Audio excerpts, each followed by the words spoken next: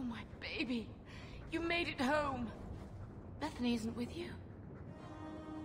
No. Is she... coming back? I don't know.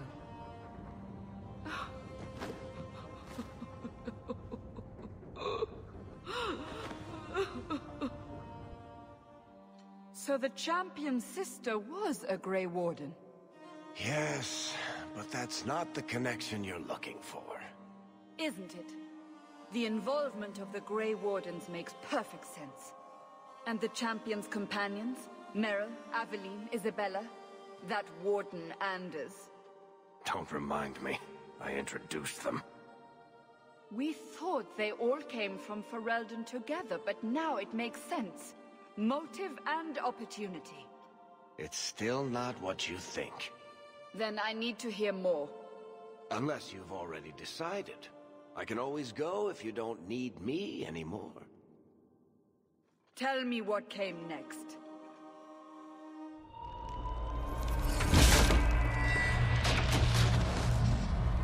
The treasure we found in the deep roads made us a fortune. The champion moved up in the world. Literally. Bought a mansion in Hightown. Everyone knew who she was now. Even the Viscount was taking notice. The Grey Wardens left Kirkwall. It was months before we learned Bethany survived. Three years later, the Qunari still hadn't left. The Qunari insisted they were waiting for their ship.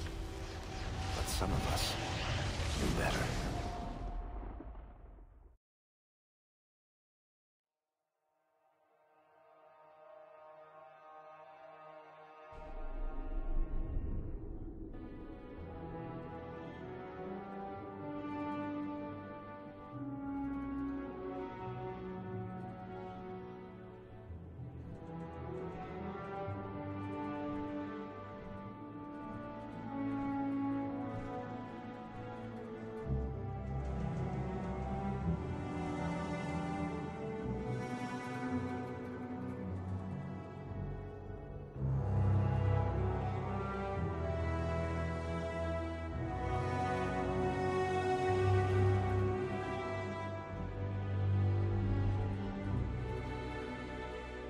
The compound was not meant to be permanent.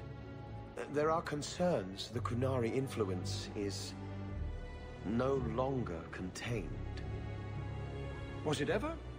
Kirkwall has tension enough between Templar and Mage. But these Qunari, they sit like gargoyles waiting for Maker knows what, and everyone goes mad around them.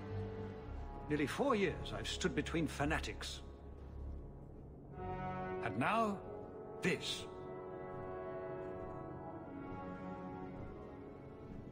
Don't keep us in suspense. Leave us.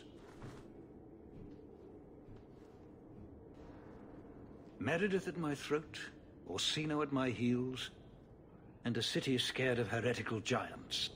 Balance has held because the Qunari ask for nothing. Even the space in Lowtown was a gift to contain them. But now, the Arishok has requested you. By name. What did you do? I got his attention a couple of times. I guess I impressed him, but that was years ago. It makes no sense. And it doesn't matter. I just need them quiet.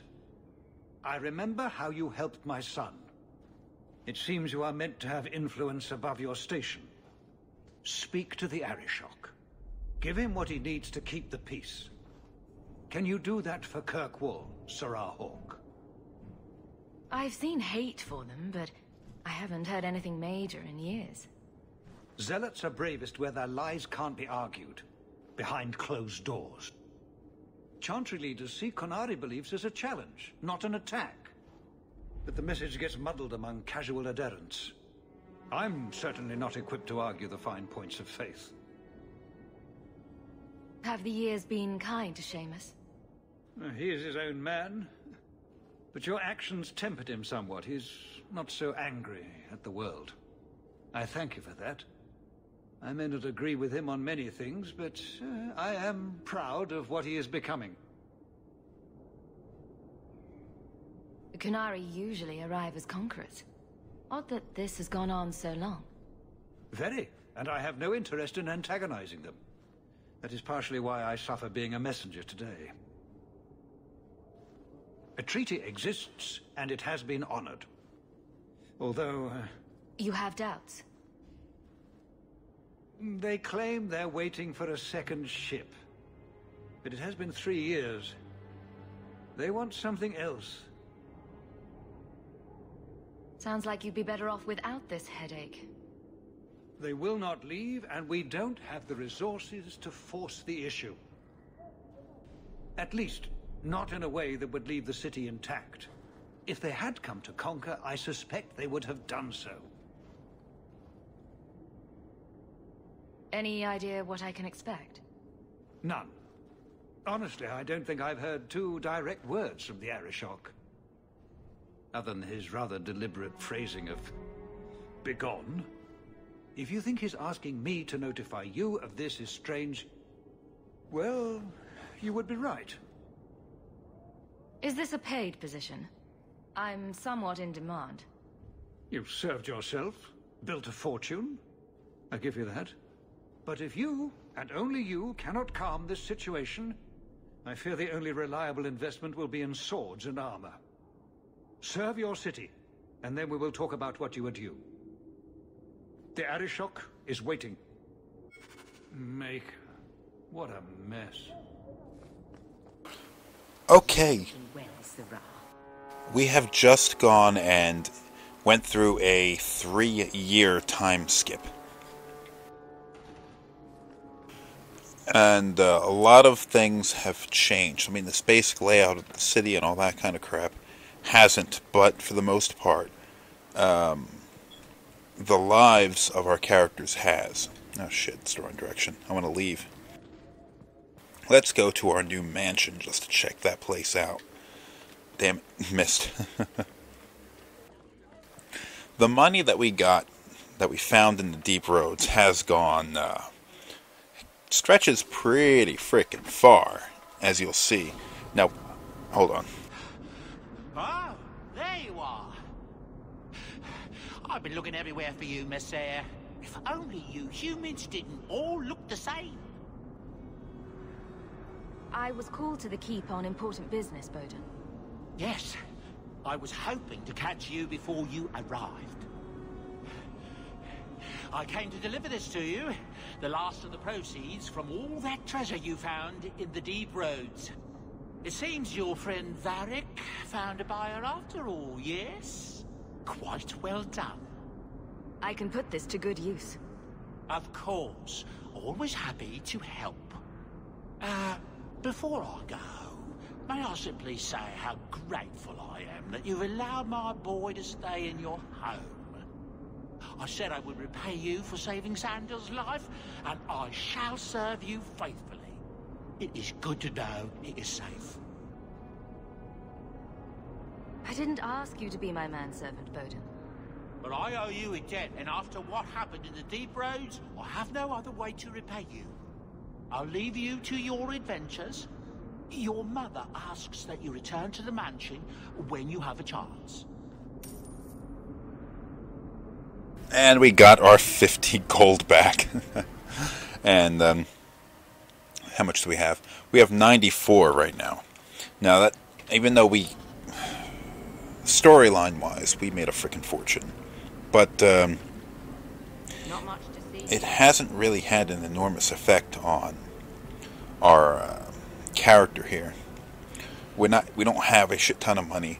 Not that you end up buying a whole lot of things in this game. So after a certain point, you pretty much have enough money to make it through the rest of the game you're not going to be hitting up a lot of shops. Most of the um, equipment that you're going to end up using is stuff that you looted off of bodies or found in treasure chests or that kind of thing. So, money isn't really all that important. But here's our new home.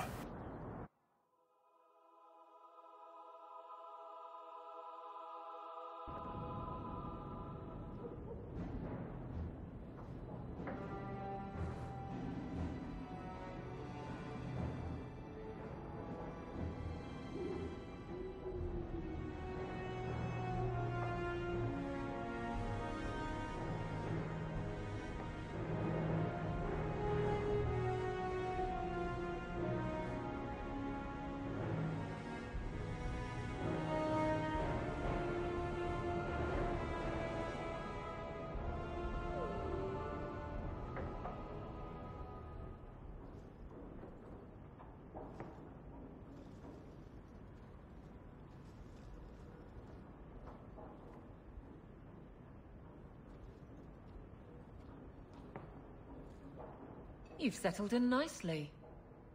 It's been hard work to get here. Indeed. Still, more coin never hurts, right? Say, if someone wanted to pass some work your way... I'm listening, Aveline. What's the trouble? A thorn in my side inventing trouble and scaring people. A Templar, Emeric. You don't know him, but he knows you. He wants your help, and some sort of official sanction. Official sanction? For his investigation. He's convinced that every random murder in the past few years is connected, and he won't be quiet. You don't think it's worth investigating? I have. He even convinced one of my lieutenants to raid the Dupuis mansion. Nothing there. You wouldn't believe how much ass I had to kiss after that. Bloody hobbyist constable. Why can't he spend his declining years building a boat or something? Seems like it should be easy to prove if there are bodies. Kirkwall isn't the safest place. That doesn't mean everything terrible is related. There's no sense to that. Can't be. Muzzle the geezer. Got it. I would never say that. But if it leads somewhere genuine, I'll pick it up on your word. If he shuts up, that's good too. He's in the gallows. Thanks, Hawke. I appreciate it.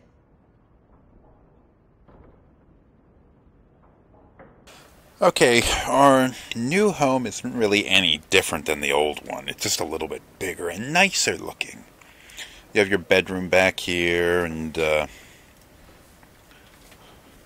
nothing really to do in there. Oh, stuff. Finery, yes. Over here you have your mail. You have uh, your room over here that has the tokens for uh, the DLC content. Oh, wait, it's up here. I actually kind of don't even like this area as much as I like Gamlen's house because it's bigger and it takes longer to get around. it's not practical in any way.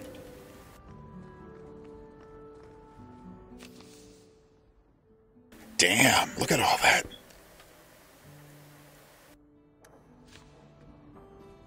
Anyway, I'm going to end the episode here, so uh, thanks for watching, and... Uh, oh, shit, uh... Enchant some shit.